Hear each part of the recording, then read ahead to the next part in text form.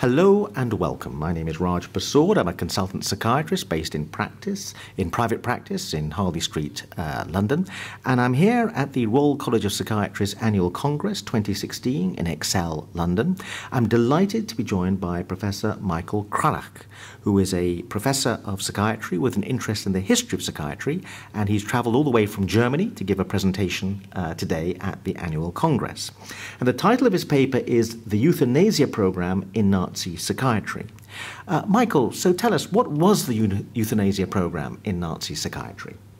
Well, between 1939 and 1945, uh, some 200,000 patients, adults and children, old and young, were killed by German psychiatrists and nurses.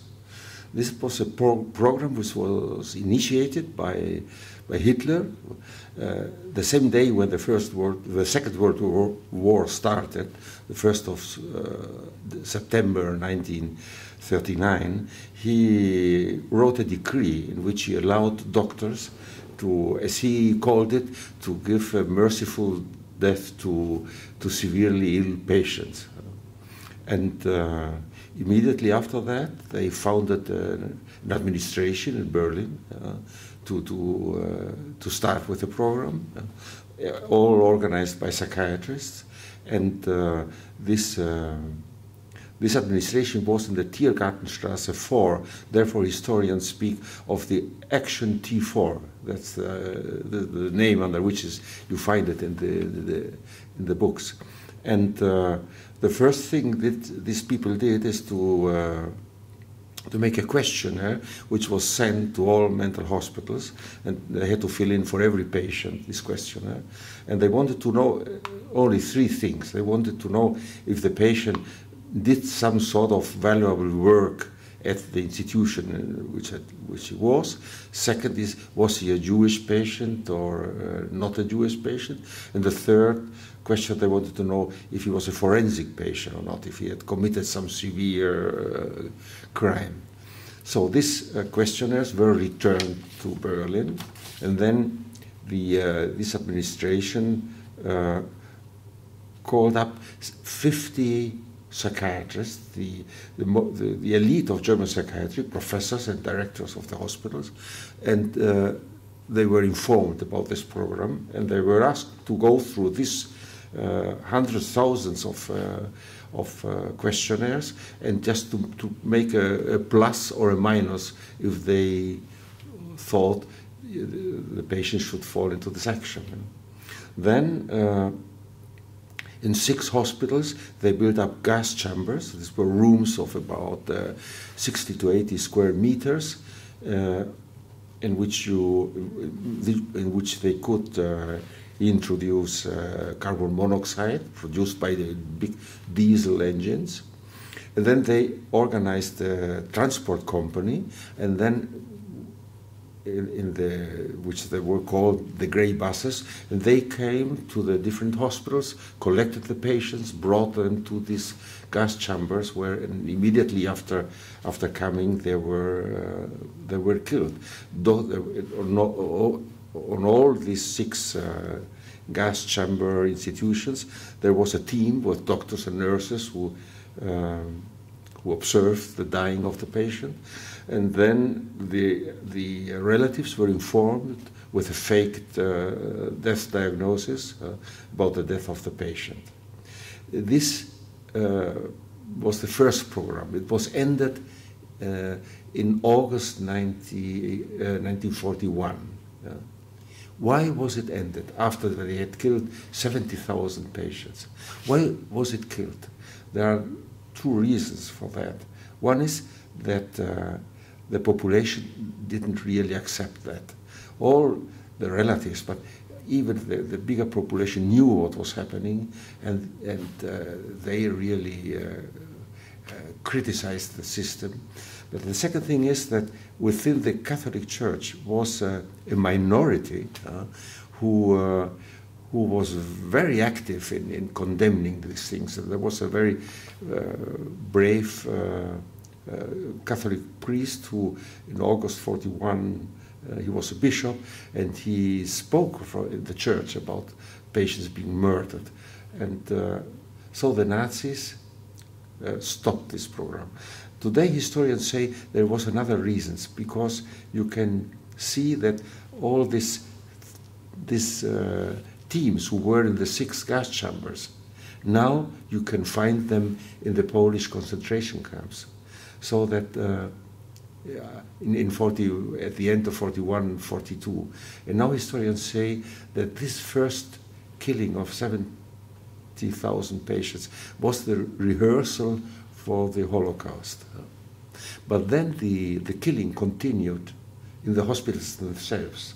We call this the decentralized euthanasia program. How did they kill the patients? There were several different uh, programs. One was for was from for children. Uh, they uh, organized in 20 mental hospitals special units for children and, and young children who were born with some sort of uh, handicapped or well, and children even uh, until, until the age of, of 16 were admitted to these units were thoroughly uh, uh, examined, and uh, about one half were killed immediately, directly by giving them luminal injections, barbiturate injections. And this was one of the programs. We know that some 8,000 children were killed by, by this way. Then the adults, there were two programs. One was that in many hospitals they introduced what they called a starvation diet. Uh, this for all the, the patients who did not work uh, at the institution in some way, uh, they were put on a starvation diet, uh, and uh, some some 80, 90,000 died of starvation. And then, and then in the last years, between the end of 43 to 45, uh, they killed even adults with, uh, with luminal barbiturate injections. There was a special program for Jewish patients. There was a special program for forced laborers who fall ill, who develop a, a mental uh, problem. You know that I, I, think in the German Reich, uh, in order to keep the industry running, the war industry and uh, the agriculture, everything, they had something like six million of forced laborers, who mainly from the from Eastern European countries. And if they uh, developed a psychiatric uh, problem, they were admitted to certain units, and uh, the advice was to to, to administer a very intensive treatment in the hope that they will come, go to work very quickly. But then there was this letter from the ministry in Berlin ended with a sentence: if after four weeks there is no uh, treatment success, stop any sort of, of treatment. And they too killed these patients. So in the whole, we know now that more than 200,000 patients died in this horrible way. I was talking to um, Frank Schneider about this, and um, there's a separate podcast interview that people can listen to. And he was emphasizing the idea was were these people useful? If they were not useful, if they could not work, then they were going to get eliminated, if I can put it that way. Was this criterion of usefulness at work also applied to patients with physical disorders? Because you could have a physical illness, and that could mean that you were not useful in terms of working. But would those patients also be killed, no. or was particularly psychiatric patients? It was particularly psychiatric patients, and you know that this idea uh, of of being useful or, or useless, that wasn't a Nazi uh, ideology. Just many years before within psychiatry, this concept were introduced. In 1920, uh, a psychiatrist and a lawyer, they wrote a book uh, in which they, for, for, for in, in, many pages, they, they discussed this problem of usefulness. You know that they started, you, you can see it in the literature from 19 on, there was a discussion that, that, that patients within psychiatry have a different value, you know, uh, that they're not equal, that there are persons, and even outside psychiatry, who are less valuable than others. Uh, that was the horrible uh, thing. So that that wasn't a, a, a Nazi uh, terminology. The Nazis used it uh, in order to, to, to get rid of the problem. But it is an old, this is a very, for us psychiatrists, very sad and, and, and painful thinking that it wasn't uh, we were not the psychiatrists were not the victims of Hitler. We had thought these things many years before. But was that a particularly German psychiatric view mm. about usefulness and work linked to psychiatric problems? I mean, was the same thing happening in Britain in, in the same era? Or was a particularly German psychiatric approach? Well, you know that there was a, a huge and important movement of eugenics, uh, which reduced man to his genetic uh, qualities and uh, properties. And in, in this discussion, which was a worldwide discussion in which British and American and, and Scandinavian uh, doctors participated, uh, uh, you, you, can find that the, saying that patients have a, a diverse genetic uh, basis, yeah, they introduce the concepts that, patient, that persons are different. Uh, the persons, uh, and you can feel in the discussions, they, they don't say it openly, that uh, one race is more valuable than the other, but I, I, they have this in, in mind. In your researching into this very dark period in the history of German psychiatry and the history of Germany generally, what was the most shocking thing that you found, or the most disturbing thing in, terms of relationship of the, the what psychiatrists well, were doing? Well, or, the most disturbing thing is that when I started uh, uh, in 1980, I started researching these issues. I thought th this was a, a, group of criminal psychiatrists. Uh, who the Nazi used to, to, to make this program. But then quickly I, I, recognized that this was the elite of German psychiatrists. They were humanistically educated. They were Christians, most of them. And uh, I, would say psychiatrists as I am a psychiatrist. And I started thinking, what would I, I have done if I would have lived at that time? And uh, so, therefore, I got involved in, in, and, and write about the, the, the ideas. Uh, what are the conditions under which good psychiatrists uh, murder their patients. Uh, what, and, and, and so today, uh, later I'm speaking a little bit about that. There's no time to develop these ideas, but you, you, if you get involved in this, you start understanding why they became criminals. Well, one, one possibility is a hint in the way you started talking about this that the Nazi idea was a merciful death. I mean, these people, I, I imagine the theory was we're never going to recover, so you were doing them a, a favor by, by killing them. Is that one of the things that happened? Why, no, because th this merciful death is written in, the, in Hitler's letter, but that's the only moment where, uh, where these words appear, you see. Okay. They killed them in the most brutal way, you see.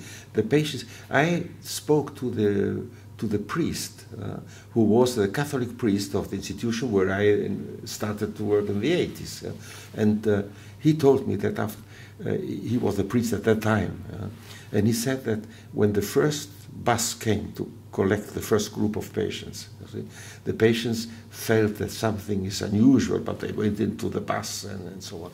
But a few days later, uh, a, a bus brought the, the, the cloths of the patients uh, back, and the, and the cloths apparently they were torn out with, by force from the patients. And then a few days later, the relatives started to ringing and, and, and asking, my mother, my father, my child has died.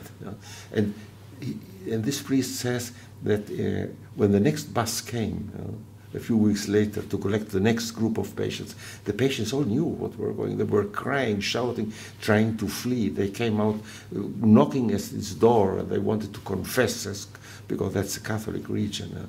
Uh, uh, and the children have been killed with a, with an enormous brutal way. You know, uh, shall I give you some? Because you know they they murdered the children with. With luminal, with a barbiturate. If you take a lethal doses of barbiturate, you die after three or four hours. Your your um, your respiratory muscles uh, um, don't work anymore, and and you die. And when and you, but making the autopsy, you don't see anything. Yeah. And then they thought, ah, that's bad because we want to make an autopsy and we want to, uh, to not to lie too much to the relatives. So let us give the children a sublethal doses so that it takes two to three years, uh, two to three days until they die. And then in the meanwhile, they develop a pneumonia. And so in the autopsy, we can tell the relatives, oh, he died of pneumonia. Uh, so terrible, uh, the brutality was uh, the, the bloodthirstiness and uh, and, and how could these doctors do that? Uh, and what is your answer to that question? Well, there are several answers. One answer is that uh, if you read the notes, you, you can uh, identify the moment when the doctor has decided, I will kill this patient. You identify it because before this moment, he describes the patient as you see in any notes in the world, citing psychopathological symptoms and things like that. And suddenly uh, he just uh, writes denigrating, negative uh, value judgments, useless, a nuisance. Uh, and I think that uh, by, uh, by, by using these pejorative words, it was easier to kill them. And some patients, some doctors really said, we are not killing patients, we annihilated them because they are not persons, they are objects. So uh, it's a terrible story. But the other thing that's very puzzling is the diversion of just sheer the amount of medical time that gets diverted away from helping people mm. and getting them well to killing them. I find that very peculiar because most doctors go into medicine because they want to help people and they want to get people better and they want to ameliorate suffering. Mm. There was a massive shift. No, no. If you speak to them, if you, they would say, no, there was a shift. We were completely uh, uh, enthusiastic with the new therapeutic methods. We were in the avant-garde of therapy, using insulin coma treatment, uh, electroshock treatment. Uh, and so we cared more than any in other countries about for our patients, but just for those who were treatable. And those who are not treatable, we don't uh, lose time. Uh, uh, Was part of the attraction of the Nazi ideology the notion of elites, the notion that elites are different from the patients or the lower orders. Mm. Um, is that one of the reasons why doctors as a profession maybe were attracted to the ideology? But it also drove a wedge between them and, and patients. Patients were lesser people. Um, do you think there was there's something of that going on? Well, look, uh, this uh, program opened enormous possibilities to doctors. The, the researchers, the brain researchers, uh, as I will tell later, were enthusiastic by this getting so much brains and things like that. The doctors uh, uh, got enthusiastic because the, the, the, conditions in the hospitals became better uh, because what they killed the, the, the chronic patients. You see, uh, the uh, and the doctors many said that they were so proud that they were participating in a unique experiment which mankind had never ever before uh, allowed. Uh, uh, and then for many of the doctors it was career, purely career, because the more they engaged, the more attention they got in, in the system. Did they publish this research? No, they, no, no. But what happened there then? Why didn't they publish it if they were so keen on all these brains they were getting from killing so many patients? You, you know, there has, there, has, there has been a lot of research about uh, uh, have we gained insights, scientific insights using these brains? And it's, no, they didn't publish it. It was just. Uh, the results were completely because uh, because neuropathology at that time was a very just describing changes and so and uh, they didn't that is the, uh, the, the contradiction you know, that they published very little. And after the war after the, the World War II in the, in the 70s and the 80s there were some German psychiatrists who who, who got back to this uh, histopathological findings, and uh, because they, they were kept in the archives of the institutes, and uh, this was a scandal because they published in American and British journals uh, papers on, on, on the brains of the, of, of the victims, and uh, without saying that they were the victims, that came out was a big discussion in the 80s. Ethical. Did, did, did those papers get uncovered for what they were, and has there been some kind of redress? Yeah, there is. Uh, um, the, not so much, but some of because I, I, tell you they didn't publish much because after 45, uh, 1945, uh, German psychiatrists had little access or no access to, to international papers, and uh, it wasn't a time when much was published. You mentioned the brutality of the killing, but as I understand what you're telling us is the killing was always done through injections. It began with a, with a kind of chamber, a kind of gas chamber, gas chamber, but then it shifted to injections. Yes, to injections and the starvation diet. Uh, okay. Mm. Tell me a bit more about the starvation diet. The starvation, the starvation diet was um, uh, introduced in uh, autumn 1941. The director of the mental hospital in Kaufbeuren, where I went in 1980, uh, he had made had made experiments. Uh, uh, what is it to do? Develop a diet so so organized that the patient die after three to four months. Uh, and uh, he made a, an experiment, and he find out that just cooking in water without any sort of additions, uh, cabbage and uh, very few cabbage and potato, peels of potatoes and things like this, that the patients, not, they don't die of, they don't get to a final starvation death, but after two, three, four months, they die of pneumonia. They, they, they are so weak that they get another disease or tuberculosis and so. And so he presented these results in Munich. This was in Munich. Uh, um, to the ministry and to his colleagues, and then the ministry decided that this diet should be administered in all mental hospitals to, uh, to those patients who the year before were sent to the gas chambers. But the thing is that not all doctors introduced, not all directors introduced the diet in their institutions. And uh, that's important to know. There are very few who who, who openly said, I'm not going to participate. And nothing happened to them. So they didn't, they didn't do it because they were forced. You see, they, there was ample room for maneuver, for, for avoiding to participate. But very, very few refused to participate. Are you absolutely sure about that? I find that incredible. Oh, yeah, oh, yeah. that's that's absolutely sure. We have because we have looked. Is there in the whole uh, country is a, can we find one person who had a, a real trauma or a real uh, problem? Uh, no one, no one. There is a good example of Professor Ewald. He was the, uh, the head of the, the, the, chief psychiatrist at the University of Göttingen. And when he was summoned to be informed, to be an expert, to, to, think, to, to, fill, to, to uh, select with his uh, questioners, he stood up and said, What you are planning is murder. Openly, said, I am not participating. And he left the session. He went, and he, he continued to be professor until the end of the war. Nothing happened to him. The Nazis, they were not, they were, first, they were not quite sure if, uh, if the population uh, stands behind this thing. And secondly, they, they knew the psychiatrists, they are completely involved and they.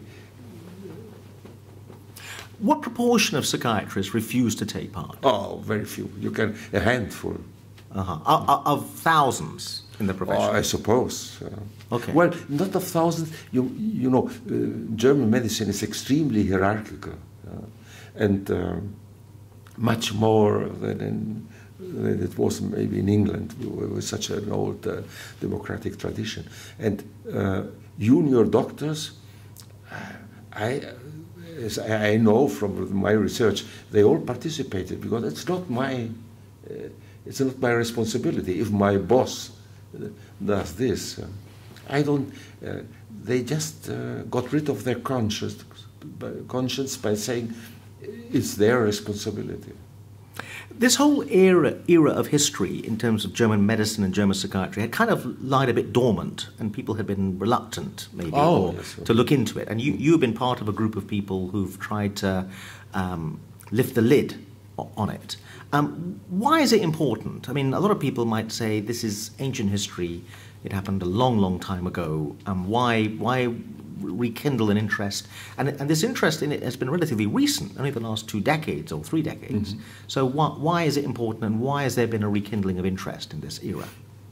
Well, I tell you, we had uh, a psychiatric reform uh, much later than you had in England, uh, which started in the late uh, 70s and started officially in the 80s.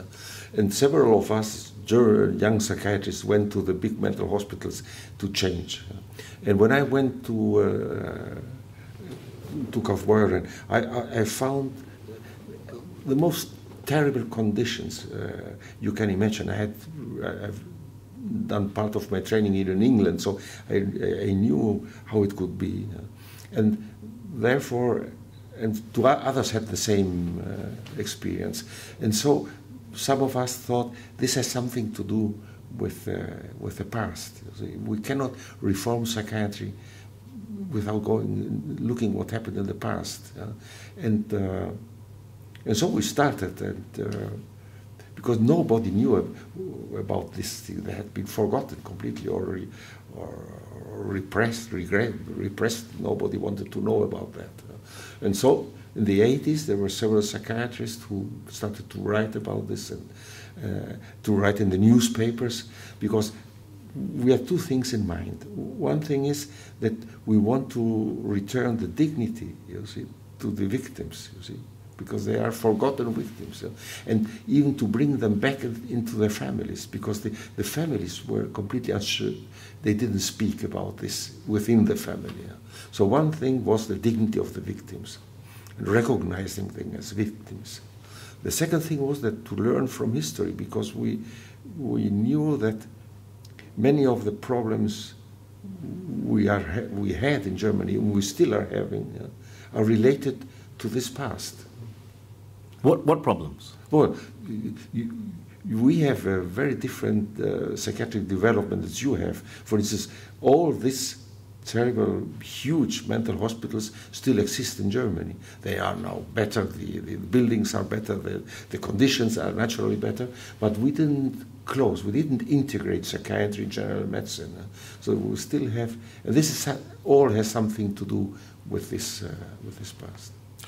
We are talking at a particularly interesting moment in the history of politics of Europe. There's a lot of political turmoil, mm-hmm. and um, some people are seeing the rise of the right, or at least the rise of extremism in certain European countries. Do you think this could happen again? Do you think that if there was the rise of totalitarianism or authoritarian regimes, that psychiatrists at a major Western country like Germany or France or Italy, Spain or the UK uh, might collaborate over the, um, the decimation of their patients? Well, I, think that, uh, uh, at least in, in, German and Austrian society, where I'm, uh, I'm acquainted with, there always has been, I would say, uh, a 20% of, uh, of people who, are, I wouldn't say fascist, but who are right wing or extremely right wing, who re remained from that time. Uh, and uh, we were lucky in Germany that the official parties, the, the, the, the more conservative parties, uh, uh took care of this. Of, of this. But now, since uh, with the immigration issue, we had uh, now a new party has been formed. Uh, and they say that they're gaining 20, 25 percent. I, I, I, don't think so. I think there is this group of, of, of extreme right-wing people, and uh, but I don't think they will change. In Germany, it would, won't change much. So it, it can't happen again, not in Germany. oh, well, well, I, I wouldn't say that it can't happen again. You see, because uh, if you look at the conditions, it's naturally can happen again.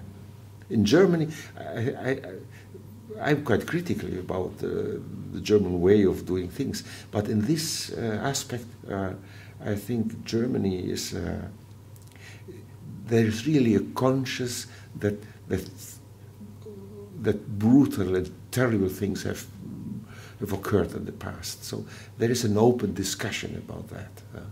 Uh, therefore, I'm in this sense I'm optimistic. Children really in school learn from the first years what happened, are confronted with that, and so I think that the majority. Uh, it's a good way of dealing with this uh, terrible past. Uh, Professor Dr. Michael von Cranach, thank you very much indeed. Okay.